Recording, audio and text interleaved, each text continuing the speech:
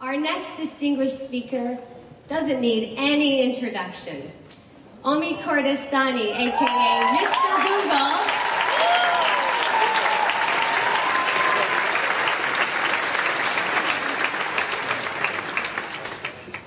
Omid says, in an interview I did with him about a year ago, that staying relevant keeps him up at night. Well, it's no wonder then that his business model for Google single-handedly has not only redefined what it means to be relevant in this day and age, but he has changed the world in which we all live in. Ladies and gentlemen, one of the biggest stars in our community, all the way from London, Omid Kordestani.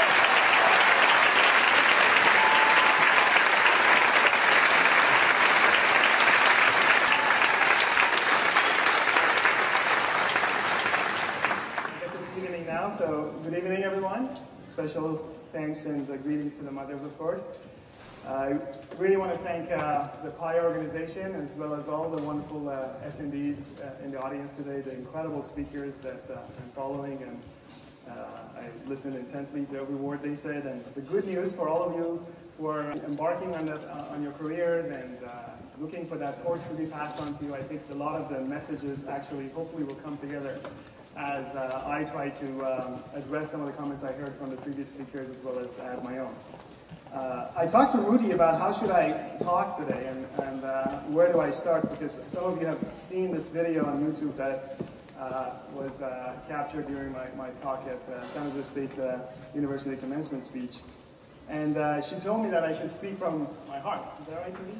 And uh, which is a dangerous thing. So I uh, plan to uh, be uh, very personal with this conversation, and uh, I actually thought of a theme for my talk and decided to call it "Life is Messy." Uh, take the lead, and um, I'll explain what I mean by that after I describe a situation I was facing two years ago. So, at the peak of my success, fame, and fortune, uh, about two years ago, I found myself in the uh, office of a psychologist in San Francisco, a wonderful lady who was um, helping me to basically unknot some of the complications that had appeared in my life. Uh, I was asking her, shouldn't I be happy with all of that I've accomplished? Uh, is this a midlife crisis I'm going through? Uh, I believe that marriage is forever. How come I'm in the middle of a divorce? Uh, then I check all the boxes in life and did all the right things and took all the right steps. And uh, those were some of the questions that were really burning for me. And, uh, and uh, this last two years has been an incredible, incredible transformation and realization. As Maz uh, so brilliantly captures and presents the various characteristics and idiosyncrasies of uh, us Iranians, Iranian Americans, perhaps there is one that can add to this list, which is uh, we tend to pursue beauty and perfection uh, in life to a fault. Uh, we it seems to me that we tend to operate according to this Persian life manual, and that uh, there are all kinds of right things to do on there. The right school to go to, the right degrees uh, to go after, uh, perfect nose and hair. And Since I'm in LA, maybe I can make some cheekbones and teeth and other good things. Uh, the most fashionable clothes, uh, not just the right partner to marry, but the right family to get into, and all the right backgrounds. So I came up with this theme of life is messy because uh, it is messy, and checklists go out the window when life surprises you. Uh, it throws you upside down, side to side, perhaps on your face or on your back, and none of that is on the checklist or in this life manual that we think we have.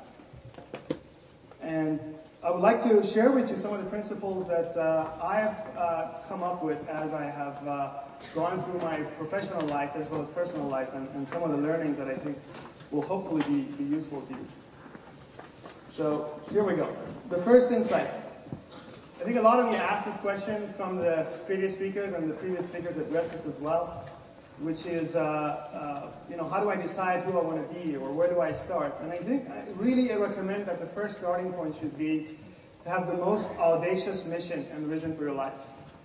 And really not limiting yourself with that mission because your life, as previous speakers talked about is, is this, you know, starts, especially if you're just coming out of school, as a very simple foundation.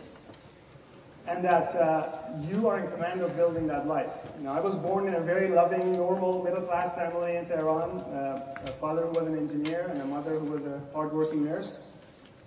Uh, I was a, quite an introvert boy. I was uh, better at listening and observing than being out there and being active. Uh, but inside me, I had always this dream of leading and having impact on people.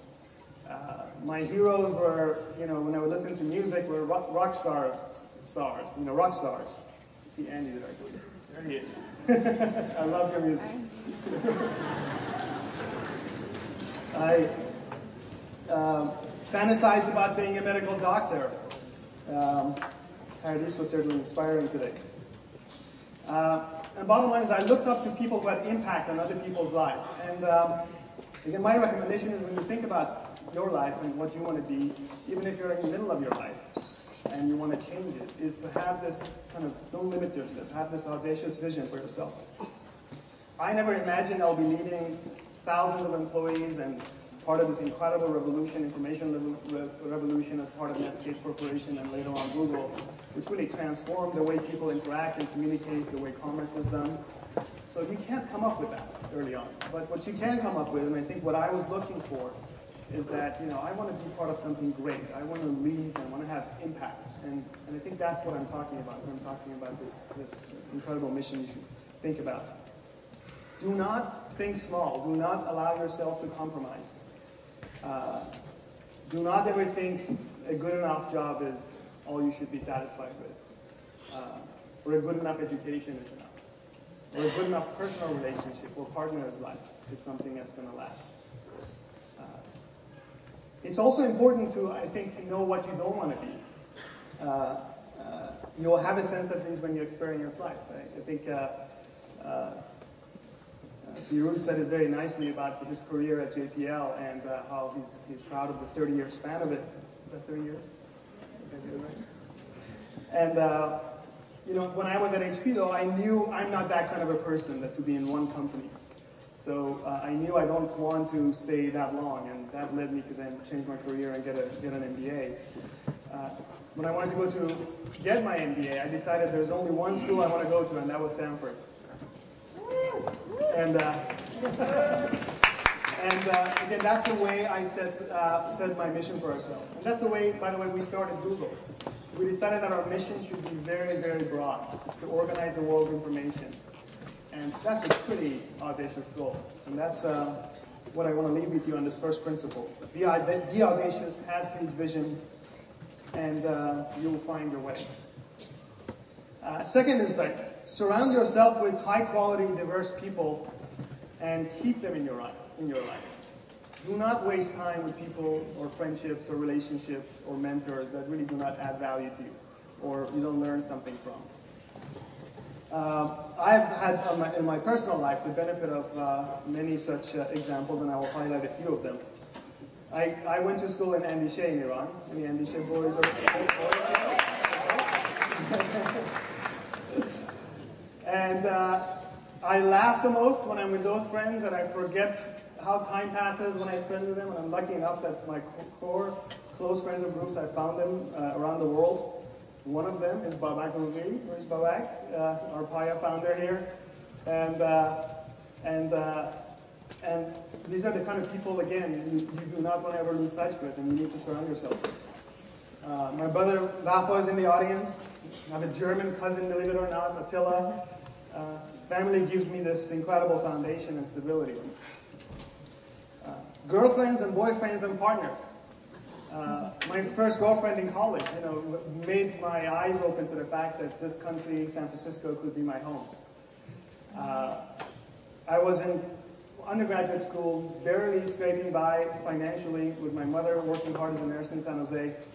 And uh, our focus was that I have to finish education so that I can pay the bills and there was one month left to go, and uh, I couldn't make it. Well, we couldn't make it. My mom couldn't make it. And there's a dear friend, Nasser Hekeli, who I believe lives in, uh, in, uh, in this area, a Jewish friend of mine, who uh, lent me money and actually made it possible for me to finish school and for us to keep our house. And uh, it was incredible.